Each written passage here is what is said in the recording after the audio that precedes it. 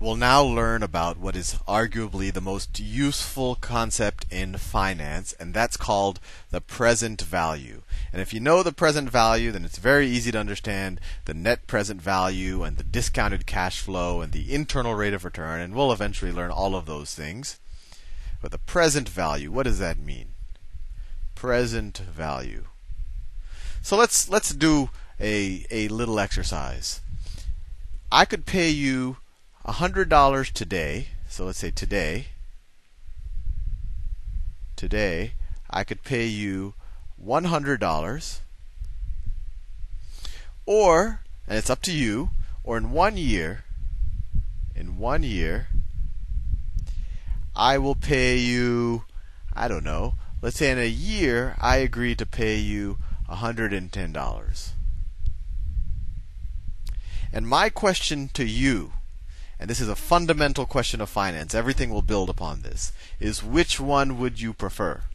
And this is guaranteed. I guarantee you, I'm either going to pay you $100 today, and there's no risk, even if I get hit by a truck or whatever. This is going to happen. The U.S. government, if the earth exists, we will pay you $110 in one year. It is guaranteed. So there's no risk here.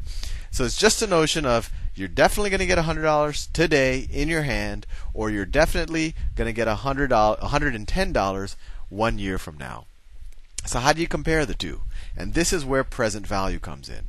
What if there were a way to say, well, what is $110, a guaranteed $110 in the future?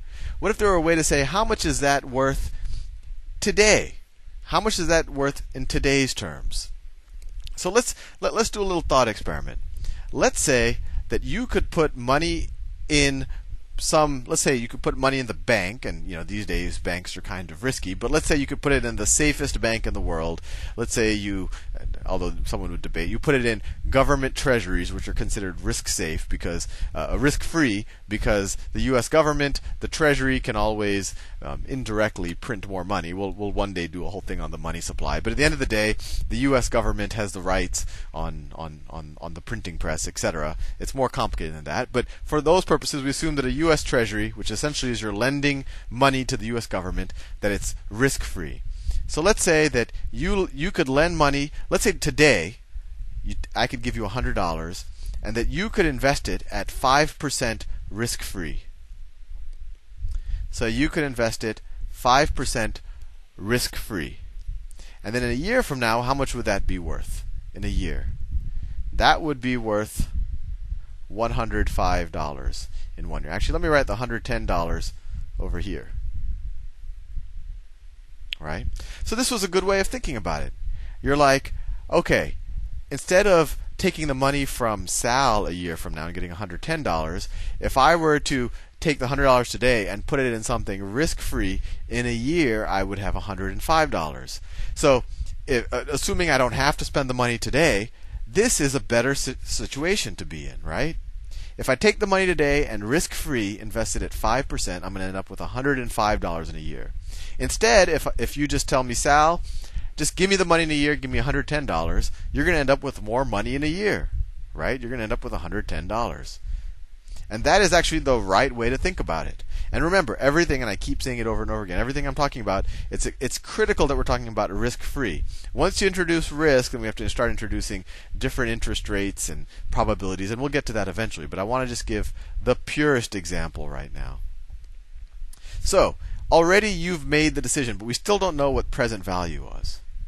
So, to some degree, when you took this $100 and you said, well, if I lend it to the government or if I lend it to a risk free bank at 5%, in a year they'll give me $105. This $105 is a way of saying, what is the one year value of $100 today, right? What is a one year out value of $100 today? So, what if we wanted to go in the other direction? If we have a certain amount of money and we want to figure out today's value, what could we do? Well, to go from here to here, what did we do? We essentially took $100. We took $100 and we multiplied by, what did we multiply by? 1 plus 5%. So that's 1.05. So, to go the other way, to say how much money, if I were to grow it by 5%, would end up being $110, we'll just divide by 1.05. And then we will get the present value, and the notation is PV, we'll get the present value of $110 a year from now. So 110 year from now. Year from now. So the present value, the present value of $110 in, let's say, in 2009. It's currently 2008. I don't know what year you're watching this video in. Hopefully, people will be watching this in the next millennia. But the present value of $110 in 2009, assuming right now is 2008, a year from now, is equal to $110.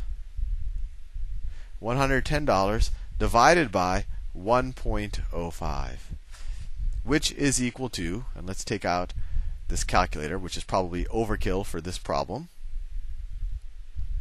Let me clear everything.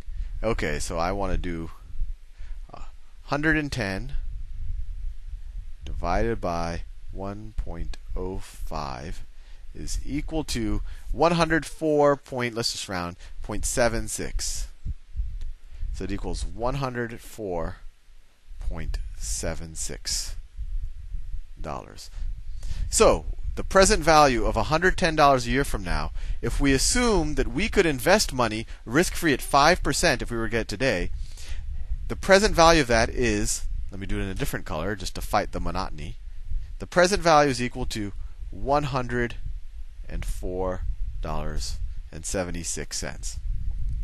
Another way to kind of just talk about this is to get the present value of $100, $10 a year from now, we discounted the value by a discount rate. And the discount rate is this. Right here, we grew the money by, you could say, I don't know, uh, our yield, a 5% yield, or our interest. Here, we're discounting the money because we're going backwards in time. We're going from year out to the present. And so, this is our yield to, to compound the amount of money we invest, we, we multiply the amount we invest times 1 plus the yield. Then to discount money in the future to the present, we divide it by 1 plus the discount rate. So this is a 5% discount rate. 5% discount rate to get its present value. So what does this tell us? This tells us if if someone's willing to pay $110, assuming this 5%, remember, this is a, a critical assumption.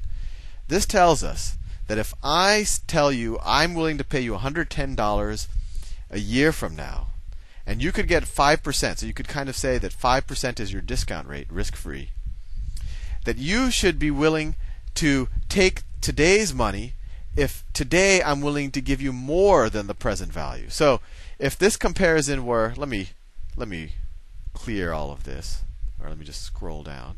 So let's say that one year, so today, one year. So we figured out that $110, $110 a year from now, its present value, its present value is equal to, so the present value of that 110 is equal to 104 dollars and seventy six cents. So, and, and that's because I used a five percent discount rate, and that's a key assumption. But what this tells you is this is a dollar sign. I know it's hard to read.